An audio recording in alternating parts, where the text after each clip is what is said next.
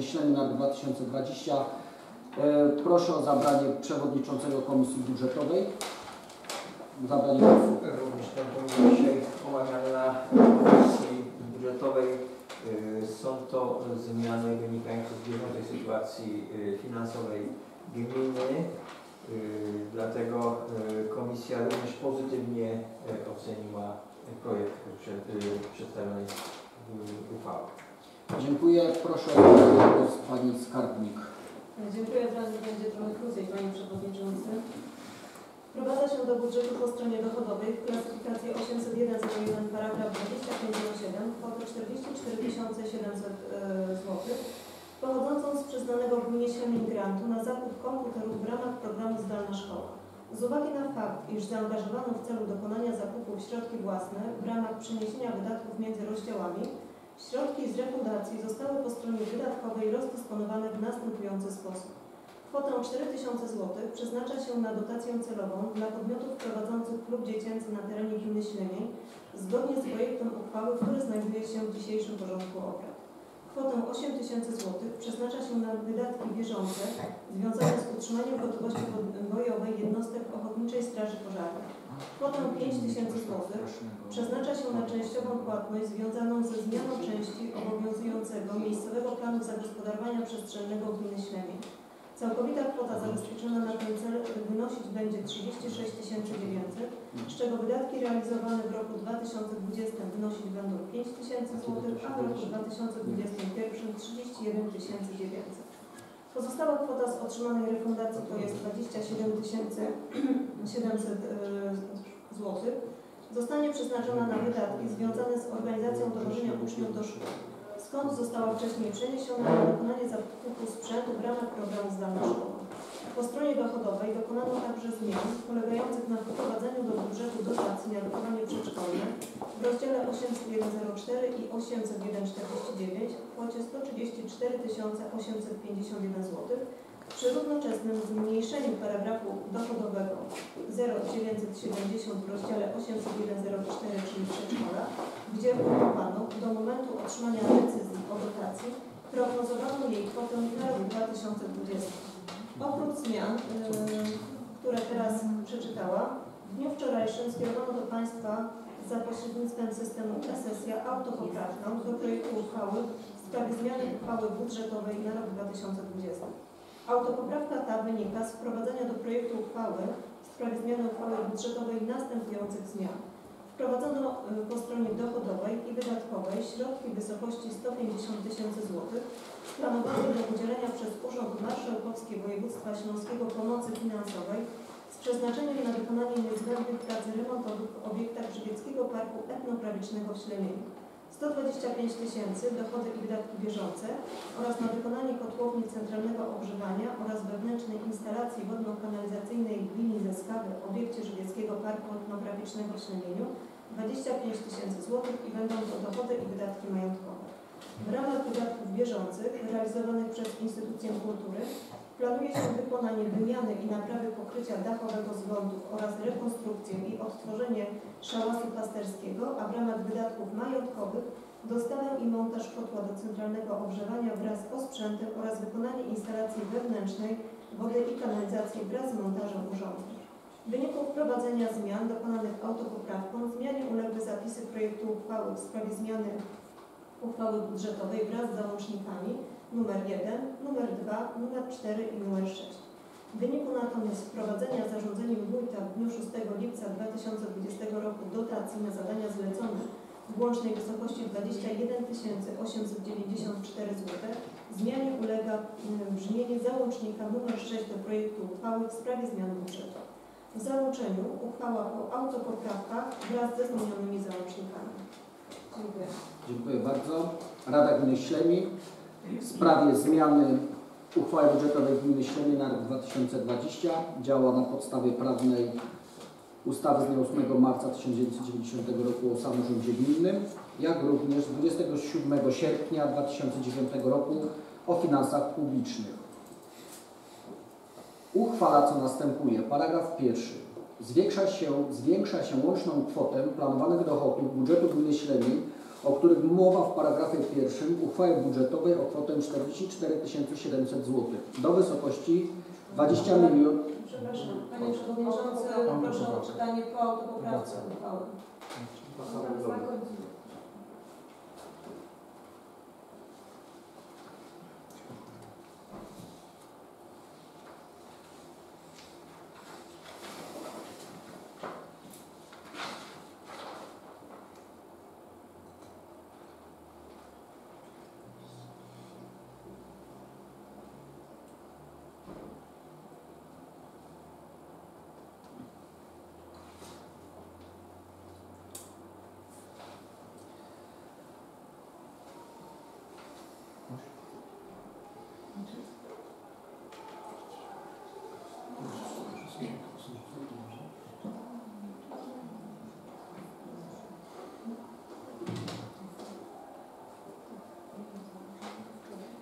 Podstawa prawna ta sama i paragraf pierwszy. Zwiększa się łączną kwotę planowanych dochodów budżetu gminy Ślemień, o których mowa w paragrafie pierwszym uchwały budżetowej o kwotę 149 700 zł do wysokości 21 138 191 zł 10 groszy zgodnie z załącznikiem nr 1 do niniejszej uchwały.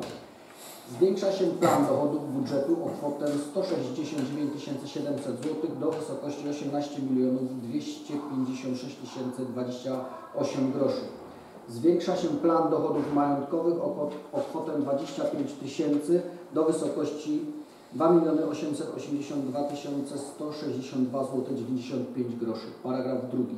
Zwiększa się łączną kwotę planowanych wydatków budżetu gminy Ślemień o których mowa w paragrafie drugim uchwały budżetowej o kwotę 194 700 zł do kwoty 20 442 370 zł 28 groszy. Stanowi o tym załącznik nr 2 do niniejszej uchwały. Zwiększa się plan wydatków bieżących o kwotę 169 700 zł do wysokości 17 371 zł 961 zł 28 groszy. Zwiększa się plan wydatków majątkowych o kwotę 25 tysięcy do wysokości 3 70 409, 409 zł. Paragraf trzeci.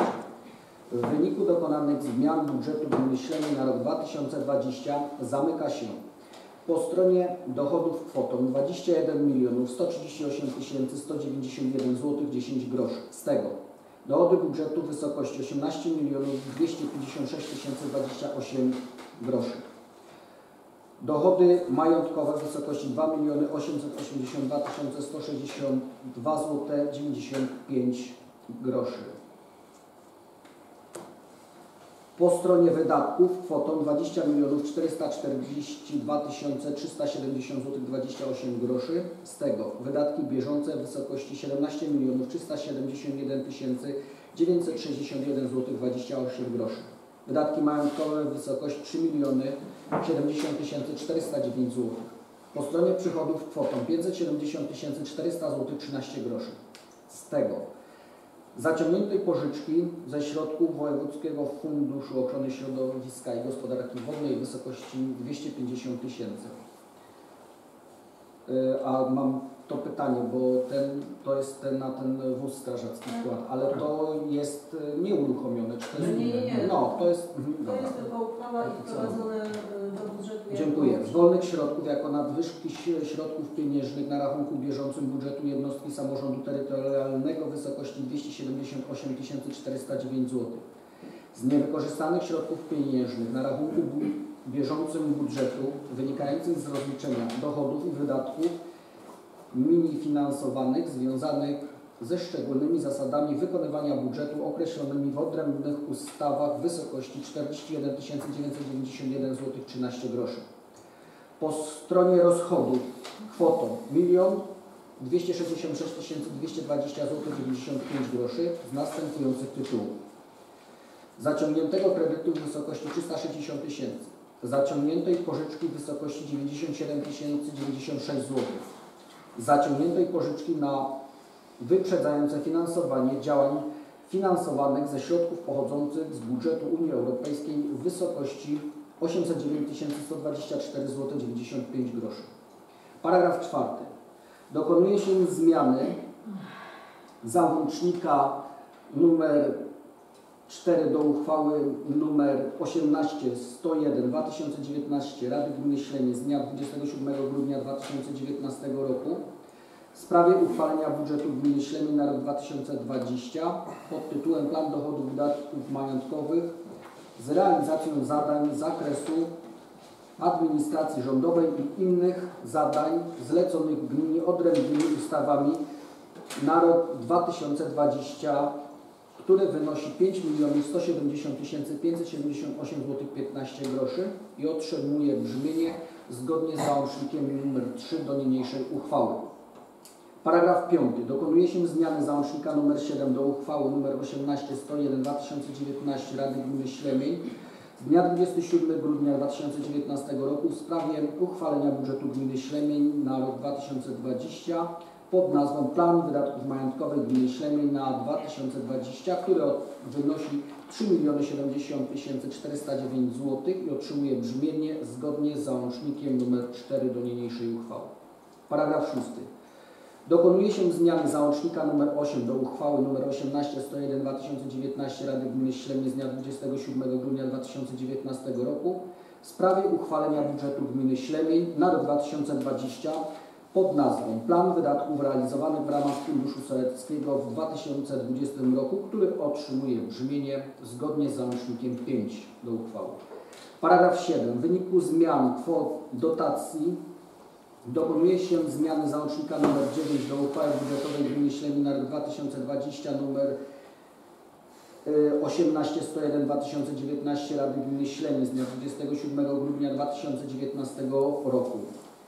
Łączna kwota dotacji planowanych do, budżet, do udzielenia z budżetu gminy po dokonanych zmianach będzie wynosić 790 139 zł, a ich Zbiorcze zestawienie otrzymuje brzmienie zgodnie z załącznikiem nr 6 do niniejszej uchwały. I paragraf 8. Wykonanie powierzyć wójtowi gminy Ślemień. Paragraf 9. Uchwała wchodzi w życie z dniem podjęcia i podlega publikacji w Dzienniku Urzędowym Województwa Śląskiego. Przystępujemy do głosowania. Kto z radnych jest za? Kto jest przeciw? Kto się wstrzymuje? Proszę o odpowiedni wynik.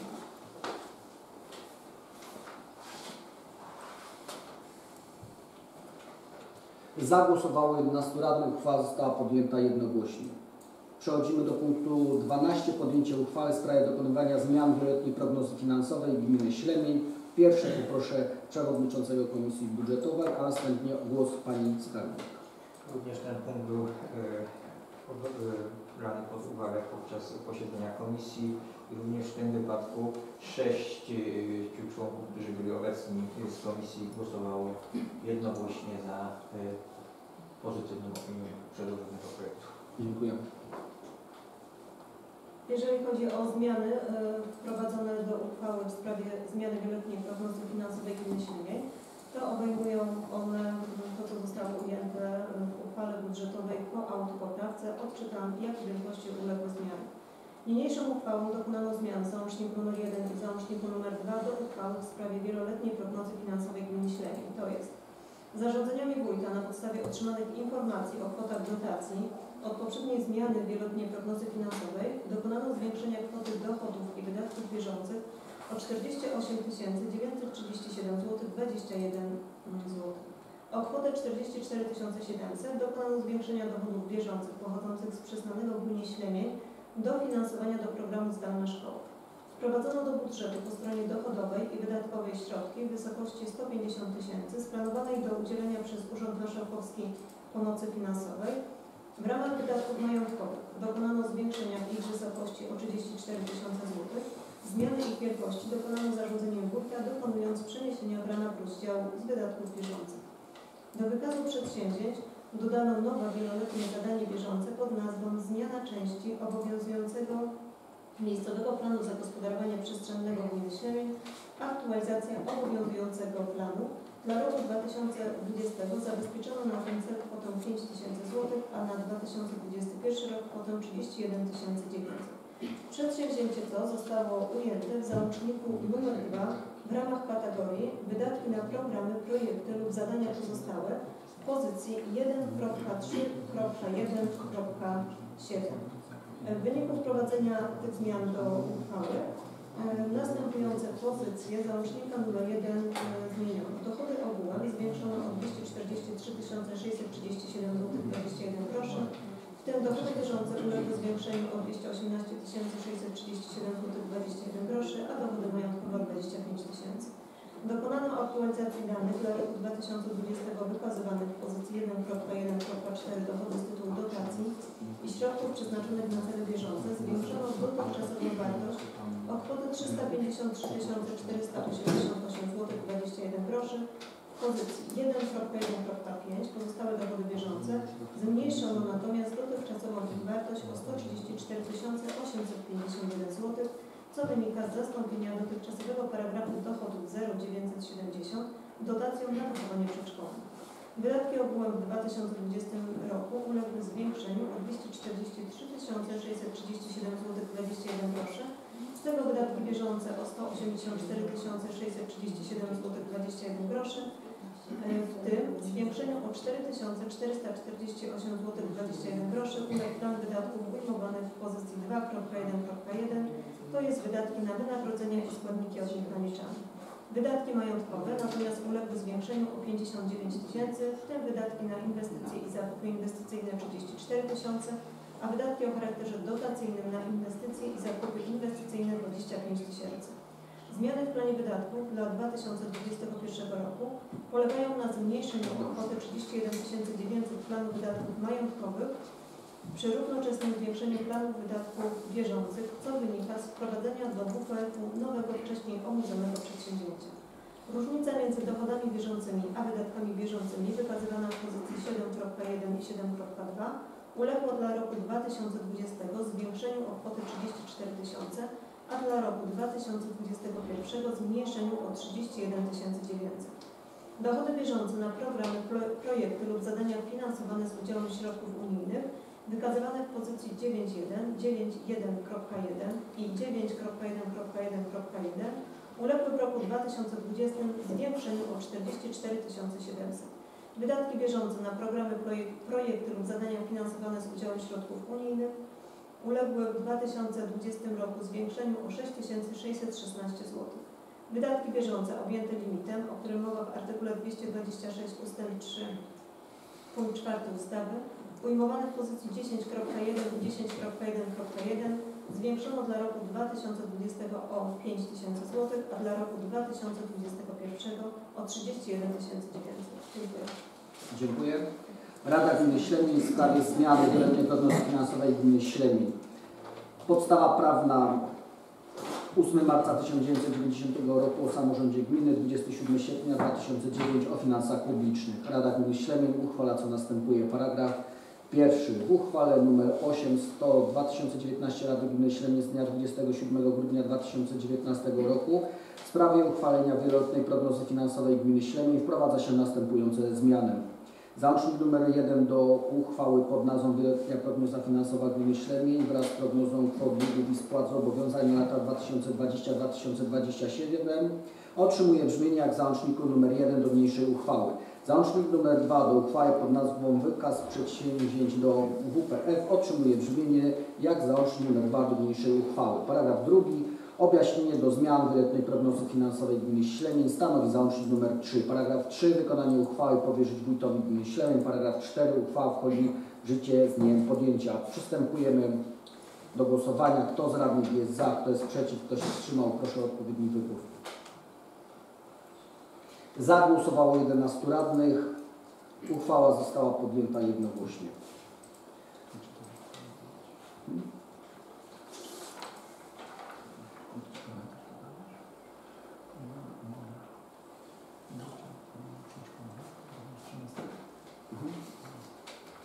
Podjęcie uchwały w sprawie wysokości zasad ustalenia oraz e, rozliczenia dotacji celowej dla podmiotów prowadzących klub, klubiki dziecięce na terenie, e, na terenie e, gminy. E,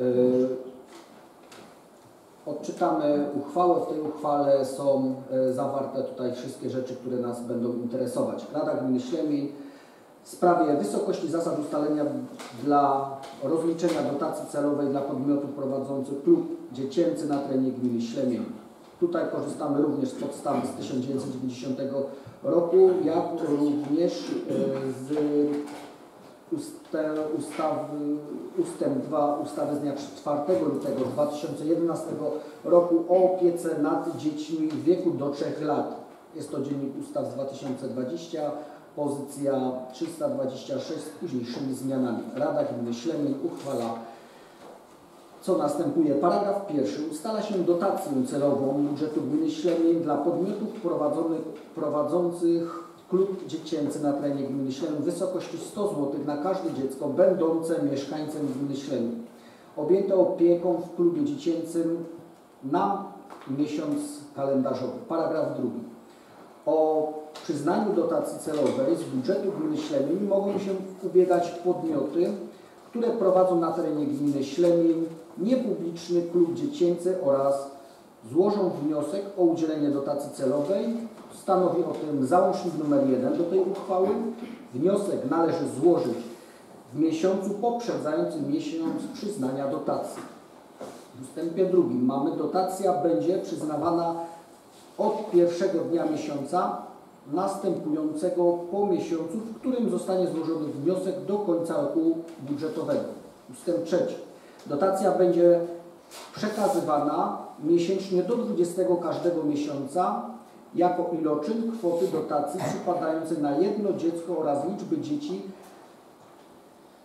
wykazanej w miesięcznej informacji o dzieciach objętych opieką według stanu na pierwszy dzień roboczy miesiąca, którego dotyczy płatność. Wzór informacji stanowi załącznik 2 do uchwały.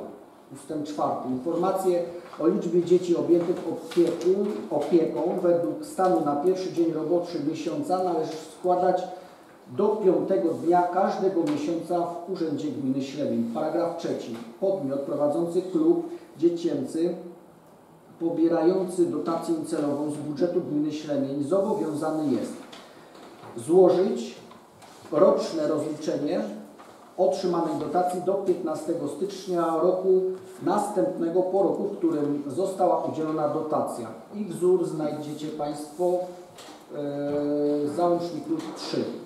Dotacja niewykorzystana lub pobrana w nadmiernej wysokości podlega zwrotowi. Zwrot dotacji następuje w trybie i na zasadach określonych w ustawie z dnia 27 sierpnia 2009 roku o finansach publicznych. Ustęp trzeci, w trzecim paragrafie podmiot, który kończy działalność w trakcie roku kalendarzowego składa w terminie do 15 dnia miesiąca następującego po miesiącu zakończenia działalności rozliczenia otrzymuje e, działalności rozliczenie otrzymuje otrzymanej dotacji za okres od początku roku kalendarzowego do dnia zakończenia działalności. Paragraf czwarty. Uchwałę powierzyć wójtowi gminy Ślemień. Paragraf piąty. Uchwała wchodzi w życie po upływie 14 dni od dnia jej publikacji w Dzienniku Urzędowym Województwa Śląskiego. Oddaję głos. Dziękuję Panie Przewodniczący. E, Szanowni Radni, pamiętacie pewnie sytuację sprzed roku, jak otwieraliśmy klubik e, Pani Agata, czyli e, prywatny przedsiębiorca i tam wtedy e, była sytuacja taka, że chcemy dotować jedno dziecko, e, każde dziecko po 100 zł miesięcznie, do każdego jednego dziecka. Ta sprawa, tą sprawę chcielibyśmy teraz uregulować e, i na tej podstawie jest podjęta, jak przed chwilą przeczytana e, uchwała przez Pana Przewodniczącego. Jeżeli są jakieś pytania, to tutaj Pani mm, Ala spokojnie może udzielić jeszcze odpowiedzi. Natomiast myślę, że temat jest czysty i klarowny dla nas wszystkich. Musimy mieć to uregulowane, żeby temat, em, że tak powiem, zakończyć i zwiększyć też e, szanse na, e, może ktoś z naszych mieszkańców chce oddać sobie dziecko, a te 100 zł może mu tą sprawę ułatwić. No i ja bym chciał zapytać, jak wygląda sytuacja teraz w klubiku na Lasie. A z tego co mam wiadomo jest około 8 y, dzieci cały czas, więc y, klubik funkcjonuje. No i myślę, że tutaj z Panią Agatą jesteśmy po rozmowie. Y, Ona chce prowadzić zajęcia przez okres teraz lipca i sierpnia, więc jakby też dobrze nam się razem wspólnie współpracuje. Myślę, że nie mamy też negatywnych komentarzy, przynajmniej my do gmin takowych nie dostajemy. Mamy nadzór nad tą placówką. Myślę, że tutaj naprawdę ten klubik jest prowadzony na wysokim poziomie. A proszę jeszcze Panie Wójcie powiedzieć mieszkańcom co do kwot, jakie tam należy uiścić, żeby takie... Aha. To wszystko prywatnie już określać w regulaminie klubu dziecięcego od zapisane kwoty i zależy ta kwota od długości pobytu dziecka, czy jest to pobyt do 5 godzin, powyżej, czy do 8, czy powyżej 8 godzin. Tam jest wszystko rozpisane, ale pobyt dziecka, z tego co pamiętam, powyżej 8 godzin, kształt, e, powyżej 8 godzin kształtuje się w okolicach 800 zł. Mhm. I w tym jest ta nasza dotacja też. Czy nie? No, Nie. Jeszcze no, będzie o stosunku wtedy mniej dla rodziców Rodzica, tak. e, z terenów gminy Dziękuję. Yy, głosowanie. Kto z radnych za? Kto jest przeciw? Kto się wstrzymał? Proszę o odpowiedni wybór.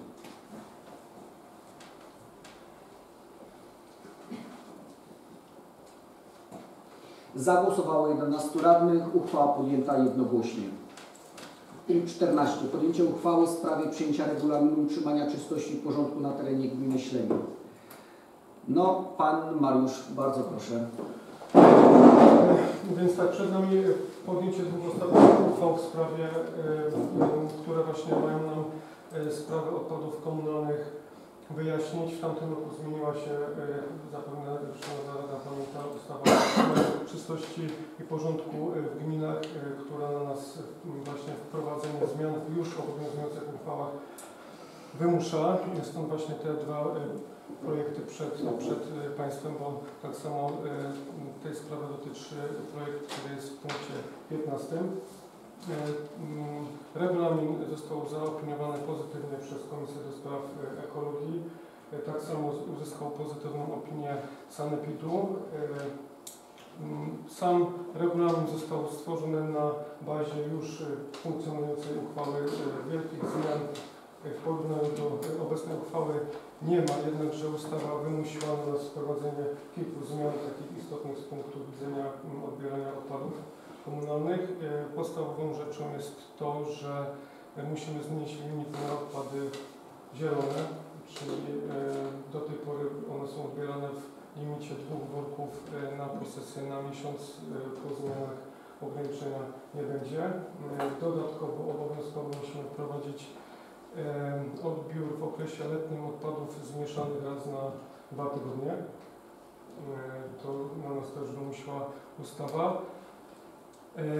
Zużyty sprzęt elektroniczny mm, mm, wraz z gabarytami proponujemy, żeby ograniczyć ten odbiór spod posesji. Do tej pory organizowaliśmy dodatkowe dwie akcje odbioru spod posesji tych odpadów e, w ciągu roku. Jednak ze względu na ogromny wzrost kosztów e, mm, proponujemy, żeby ten e, odbiór był raz w roku, tylko dodatkowa akcja się będzie wydawać na wiosnę. E, ża- Żadnych większych zmian nie ma. Projekt do Państwa przesłany, jeżeli są jakieś pytania. Proszę bardzo. Dziękuję.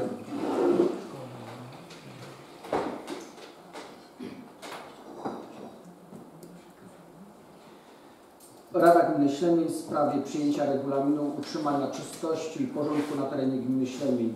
Podstawa prawna to rok 1990 o samorządzie, jak również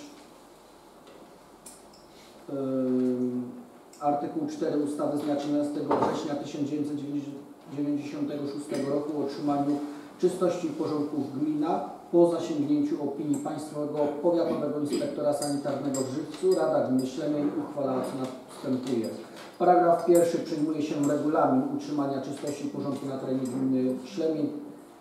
Stanowi o tym załącznik do uchwały. Paragraf drugi traci moc e, uchwała nr 50 3 285 2018 Rady Gminy Ślemin z 15 marca 2018 roku w sprawie przyjęcia regulaminu czystości porządku na terenie gminy Ślemin. Paragraf 3. Wykonanie uchwały powierza się wójtowi gminy Ślemin. Paragraf 4. Uchwała podlega ogłoszeniu w Dzienniku Urzędowym Województwa Śląskiego i wchodzi w życie z dniem 1 sierpnia 2020 roku. Przystępujemy do głosowania. Kto z radnych jest za? Kto przeciw? Kto się wstrzymuje? Proszę o odpowiedni wybór.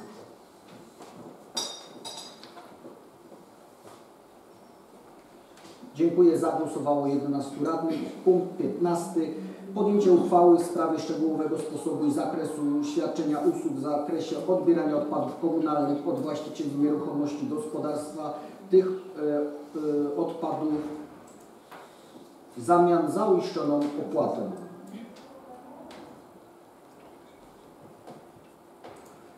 Odczytam uchwałę, jeśli będą... Pan Mariusz ma tę uchwałę przed sobą? No. Proszę odczytać.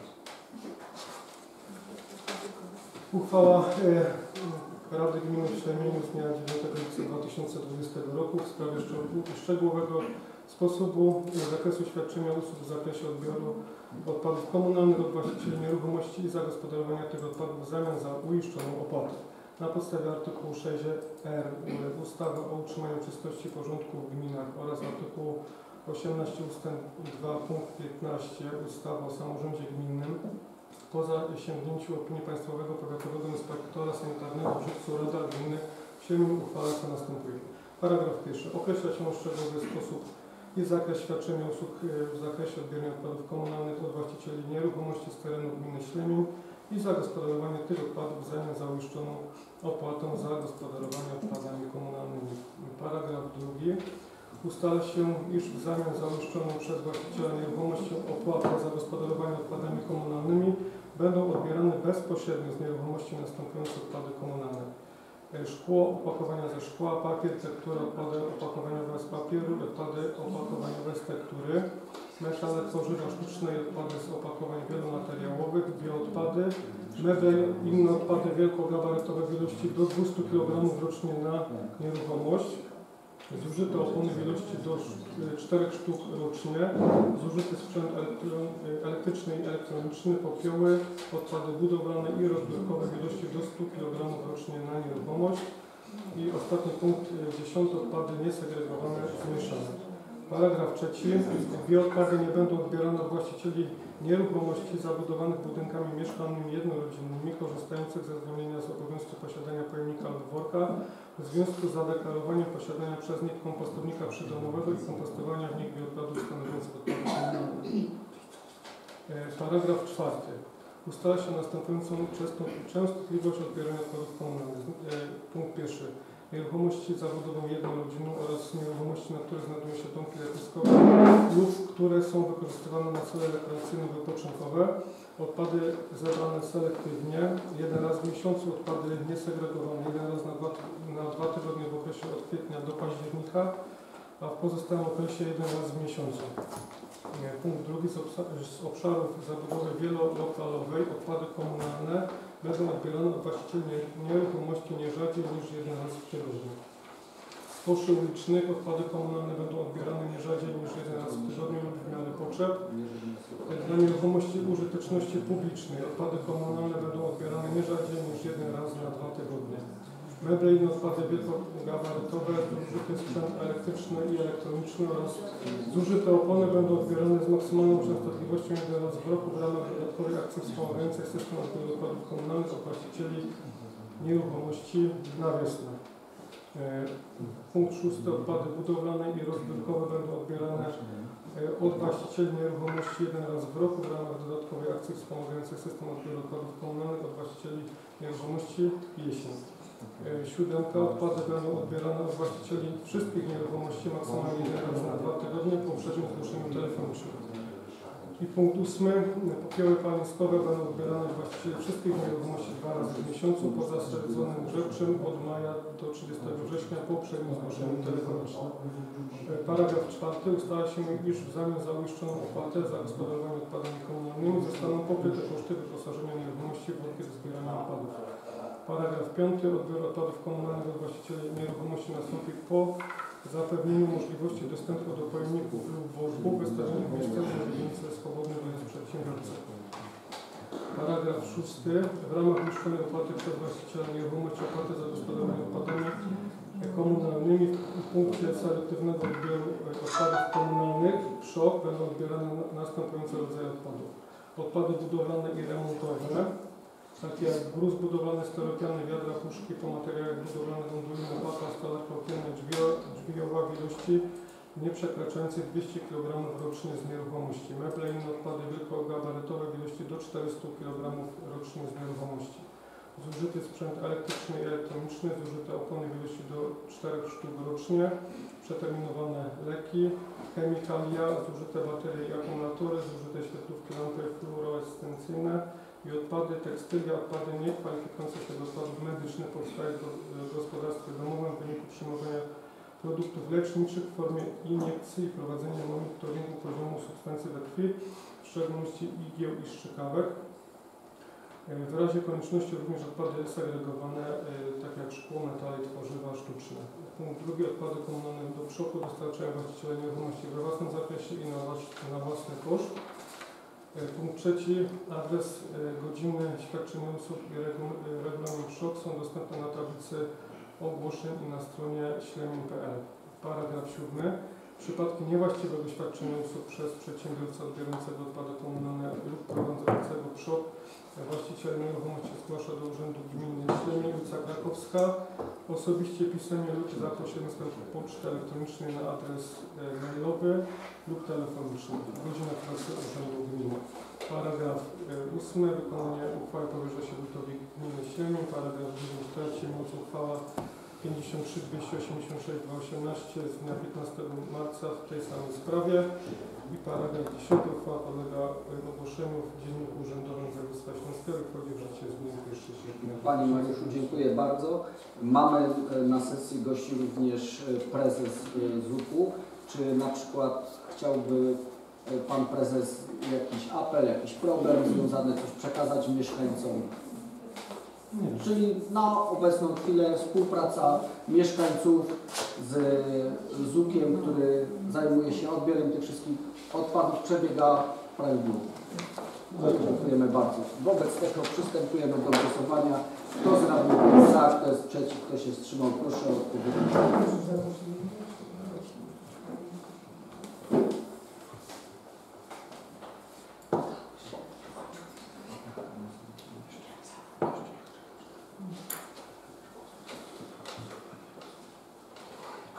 Zagłosowało 11 radnych. Uchwała została podjęta jednogłośnie. Punkt 16. Podjęcie uchwały w sprawie uzgodnienia projektu uchwały Sejmiku Województwa Śląskiego w sprawie Parku Krajobrazowego Beskidu Małego, Panie Wójcie Womek, e, części położonej w województwie śląskim. Pan Mariusz. Pan Mariusz. Dobra, proszę bardzo. Panie Mariusz został wytypowany do udzielenia odpowiedzi. E, Powiem e, szybko na temat, ponieważ ta sprawa już pojawiła się w czerwcu ubiegłego roku. E, Najważniejszą kwestią w tym temacie jest to, że ten park Beskidu Małego istnieje już od 1998 roku, także to nie jest żadna prawa sprawa, jedynie od 22 lat zmianie uległy przepisy prawa. E, W związku z tym Sejmik Województwa Śląskiego przygotował projekt uchwały. E, Ten projekt uchwały przez właśnie ten rok był przedmiotem opinii negocjacji. E, Między innymi e, radni w tamtym roku ten e, projekt utrzymali. Odbyło również na Komisji Ekologicznej, gdzie większość radnych brała udział w spotkaniu z przedstawicielami zespołu parków e, Żywca. Wtedy analizowaliśmy sobie mapę, jak ten park przebiega. E, U nas praktycznie 99% e, powierzchni tego parku znajduje się na terenie lasów. Także praktycznie... No, pamiętam, chodziło o jakieś sprostowanie troszkę tych linii. I tak, y, aktualizację granic, Granic. y, plus do tego aktualizacja zakazów, odstępów tych zakazów na życie mieszkańców praktycznie Dotknęło to w jakiś sposób mieszkańców? Nie. Dobrze, dziękuję bardzo. Rada Gminy Ślemy w sprawie uzgodnienia projektu uchwały Sejmiku Województwa Śląskiego w sprawie Parku Krajobrazowego Beskidu Małego, część położona w województwie śląskim. Podstawa prawna o samorządzie gminnym, jak również ustęp 4 ustawy z dnia 16 kwietnia 2004 o ochronie przyrody. Uchwala się co następuje. Paragraf pierwszy uzgadnia się pozytywne, pozytywnie projekt uchwały Sejmiku Śląskiego w sprawie Parku Krajobrazowego Beskidu Małego, część położona w województwie śląskim, stanowiący załącznik do niniejszej uchwały. Paragraf drugi, wykonanie powierzyć wójtowi gminy Ślemiej. Paragraf 3, uchwała wchodzi w życie z dniem podjęcia. Podejmujemy głosowanie. Kto z radnych za, kto jest przeciw, kto się wstrzymał. Proszę o odpowiedni wybór.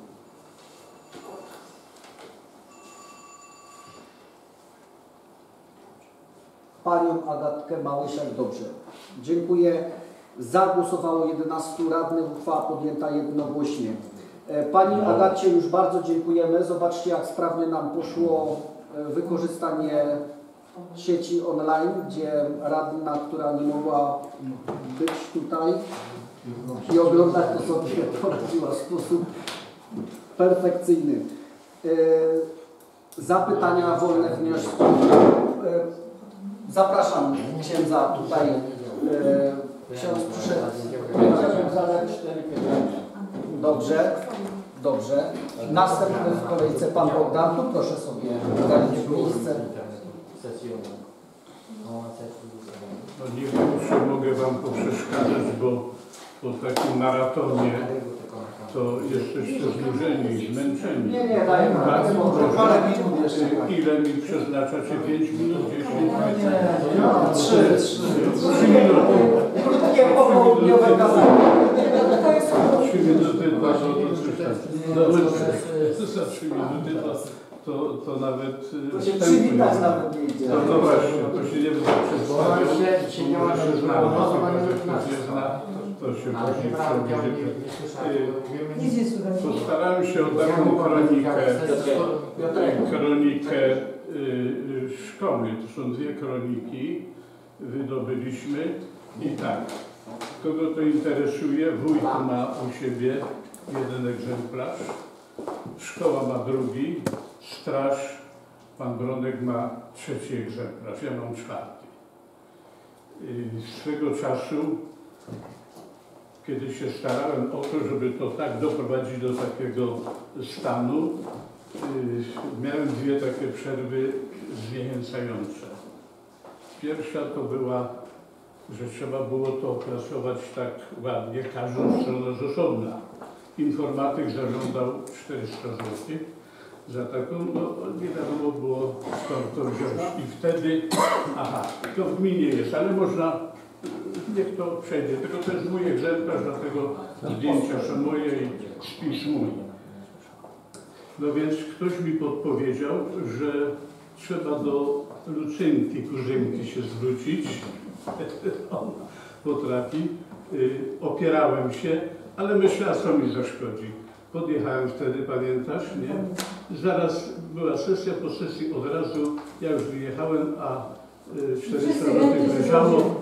Więc y, szybko y, telefon do, do tego pana, y, materiały mu posłałem, obrobił każdą stronę i no i tak wyszło. Drugie, druga taka przerwa była, bo trzeba było to oprawić. Bo to no oczywiście papier frezowy, kolor oprawić i to nie tak zwykłą oprawą, ale coś takiego ciekawego. No i to się przyczynił pan y, taki, który tu ma Marek Bon, y, też na oprawę dał. No troszkę tam mm, te proceduralne sprawy y, szkoła, tu wójt zna, może opowiedzieć. To jest jedna sprawa, drobna sprawa, ale to trzeba zawodu sporo. Tak sobie pomyślałem, że skoro pod koniec życia zebrałem mnóstwo materiałów o historii Śremienia, wartałoby tą historię wydać drukiem od pewnego czasu. Yy, ta myśl mi nie daje spokoju, więc w lutym byłem w drukarni, yy, no, żeby wycenę zrobili, ile taki pierwszy tom takiej trylogii będzie kosztował. Yy, No ale pandemia, wszystko się e, rozleciało. Potrzeba na opracowanie takiego tomu, żeby przy tym, e, przy składzie pół roku. Więc w lutym się to zaczęło, teraz powinna być, e, powinien być pierwszy tom już wydany. No niestety tak się złożyło, nie było funduszy, gmina biedna jest, nie? I, I tak szukam, wczoraj mnie zaprosił przewodniczący, żeby powiedzieć o co chodzi, Y, więc w skrócie, w Szczecinku wydano o jednym księdzu, to znaczy takiego poproszono mnie, dwa lata popracowałem, ale y, tam od razu znaleźli się, bo tu są wymienieni y, ci, którzy wsparli to, a więc y, rejonowa dyrekcja lasów państwowych, y, parafia, y, ksiądz mój były wikari już zapłacił skład, w Austrii pracuje i Civitas Christiana zajęła się kolportażem i wydano. To mi się tak spodobało, bo to zostało dobrze przyjęte. Po promocji nakład został wyczerpany. Nawet jak już tu chciałem dla kogoś, to musiałem różnymi sposobami to zrobić. To by była grubsza rzecz taka, chyba że ktoś y, tu jest wśród Was albo y, znacie kogoś, kto by y, projekt okładki zrobił, taki. Y, no to by było też troszkę taniej. Więc takie tylko grubsze. I to by były trzy. Pierwszy druk to o czym? Pierwszy dom, tom to był o duchowieństwie ślemińskim. Ja tu daję do akt y, y, taki bo to już mam prawie że opracowane. A drugi i trzeci? a drugi to by była ścisła historia parafii, trzeci Jasna Górka, a pan Jan Płonka zobowiązał się, że opracuje y, historię świecką. No, to, co nie dotyczy parafii. Tak by to zwróciło. Żeby się zorientować, to ja tu zostałem, można sobie poczytać. Zostawiam i to o. To jest tak o szemieńskie duchowieństwo i, i tu, tu jest przedstawione tytułem wstępu, to wiele dowiemy się o tym. To jest jedna sprawa. Poza tym, jak to wygląda promocja, jak to książka się tworzy, no to w gminie było mnóstwo